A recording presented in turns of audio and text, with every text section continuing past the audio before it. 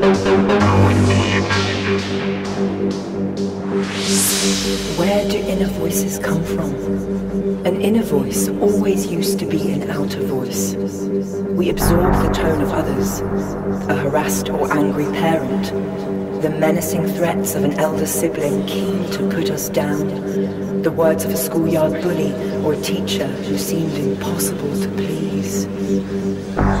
We internalized the unhelpful voices because at certain key moments in the past, they sounded compelling.